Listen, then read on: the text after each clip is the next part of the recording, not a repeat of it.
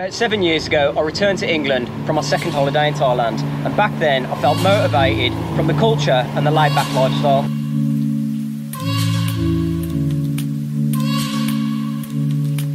But after a few months of being back, I had this revelation that I need to get back there again. And this time, when I go there, I wanted to stay there.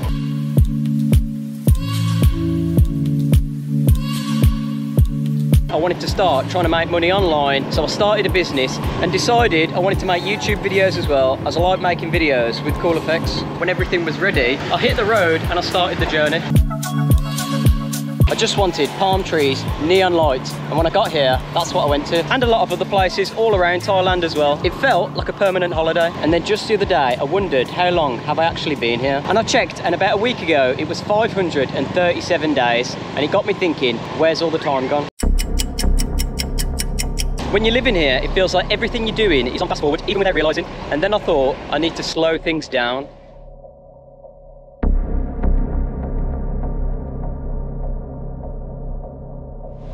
Maybe I'm thinking like this because it's the rainy season again, but what I have noticed that's weird is when I'm chilling in the condo with my girlfriend, I often get these thoughts of deja vu, like I've been here before. Maybe this is my brain telling me to stop repeating myself. Now what I value most out here, without a shadow of a doubt, is my time. You only get so much of your time here when you've got things like work and a girlfriend. And I have sacrificed a lot of my time out here that I could have been using making YouTube videos or exploring or whatever.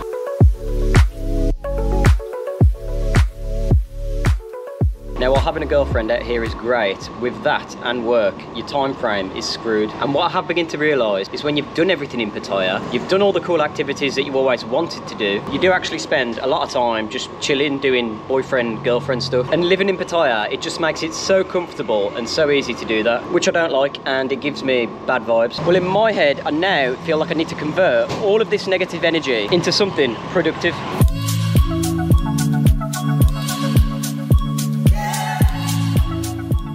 Obviously, YouTube is always going to be the answer. I actually want to get back to the stage of how I felt on day one, making videos on that day. And I'm starting to feel a lot like that now, even as I'm making this video. So I guess what I'm trying to say is that I've made mistakes getting a job and getting a girlfriend, basically. Sometimes things just happen randomly and you don't know why. I don't really regret anything that I've done, but I might have mistakenly been using my time, if that makes sense. If you guys have had any similar experiences or you want to share anything, leave a comment below because I enjoy reading.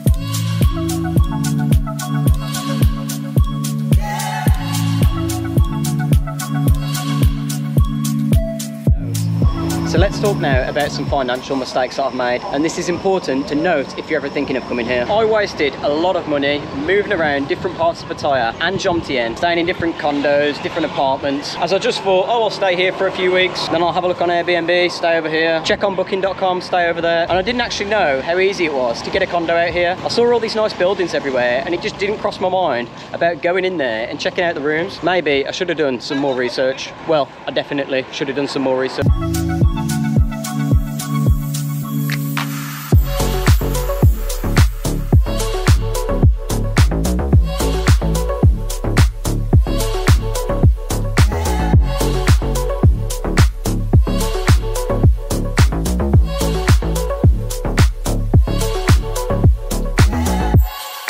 And another thing that I spent a fortune on is these stupid 7-Eleven SIM card deals. I must have spent a fortune buying these every week or two, topping up. And the sooner you get a phone contract out here, the better.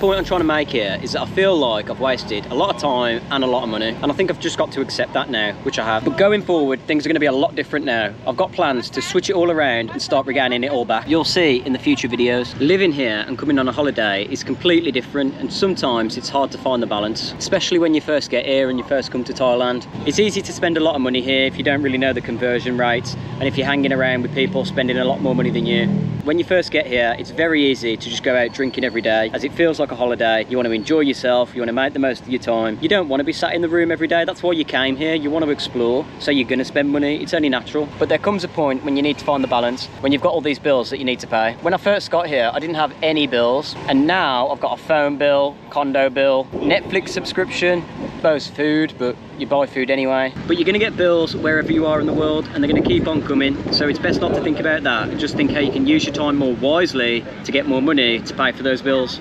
Everyone makes mistakes wherever you are. Nobody's perfect and it's only natural.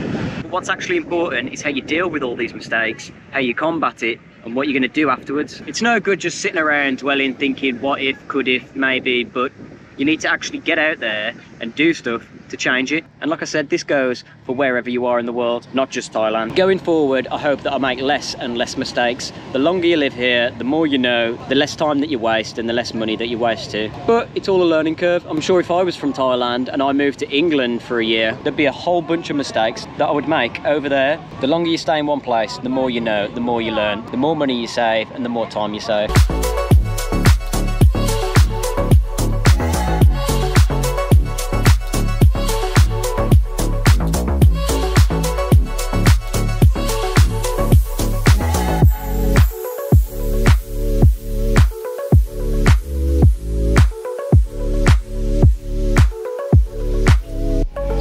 Value your time and you value your money, I've got two bits of advice for you. Get a phone contract and get a condo straight away.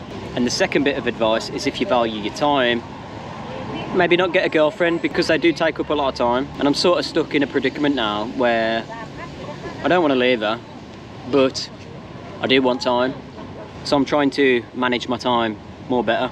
I don't want to go ahead and waste all this time that we spent together, so I'm going to try and make it work. But we'll see what happens. Who knows? If you know, let me know. I do actually want to do a lot more traveling around Thailand, and I've got some plans to do that soon. And just so you all know, I'm no longer working in the bar anymore. So for all you people out there asking me what bar I work at, I don't work there, so you can't come and see me, unfortunately. But if you want to see me, you can buy me some coffees or send me an email. I have actually started a new business out here and it's quite exciting and I'll let you know all about that in a future video.